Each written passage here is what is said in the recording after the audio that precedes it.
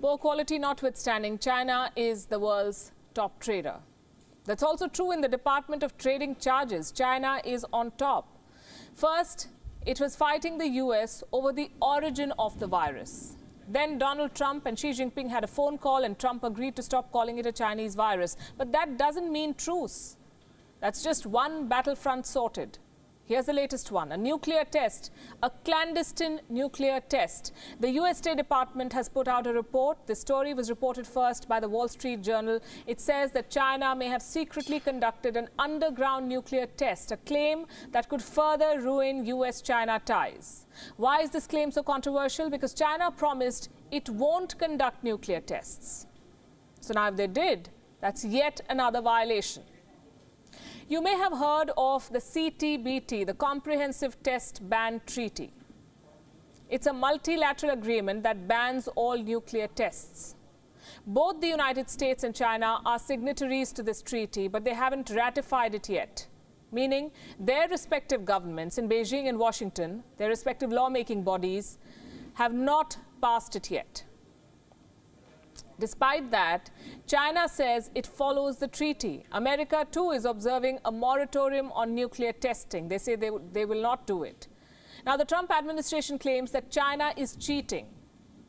Well, the American report offers no proof yet, but it says that a nuclear test was carried out at China's Lop Nur test site. This is a dried up salt lake in Xinjiang in China, Lop Nur. Beijing says it conducted no such test. The unwarranted accusation made by the US on hearsay evidence against China is irresponsible and disregards the facts and even hides ulterior motives.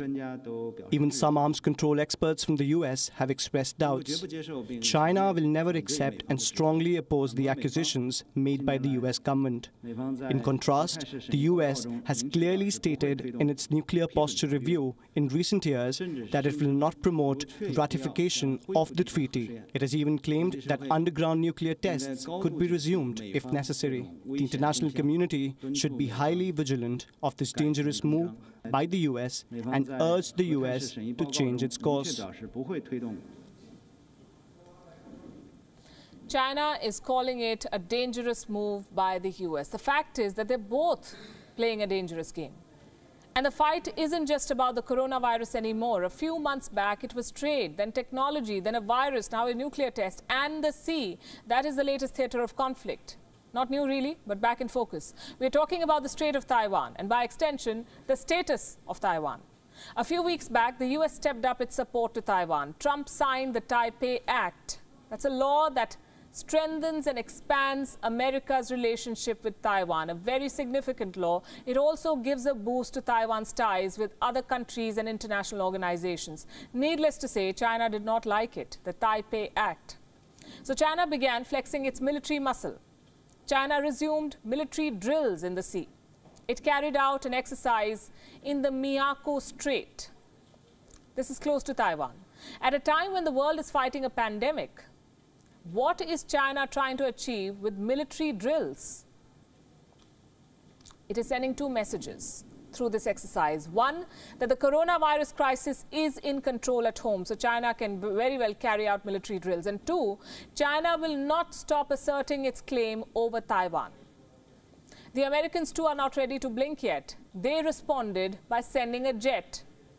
A US military reconnaissance jet was spotted near Taiwan's airspace. And it's not a one-off case. This is the 12th time, the 12th time in three weeks that an American plane has been seen in this area. Something is afoot. It could just be posturing right now, but it's worrying nonetheless. Active military presence of America and China near Taiwan is a scary prospect. The escalating disputes raise the threat of a military conflict, and that's something that the world cannot afford right now.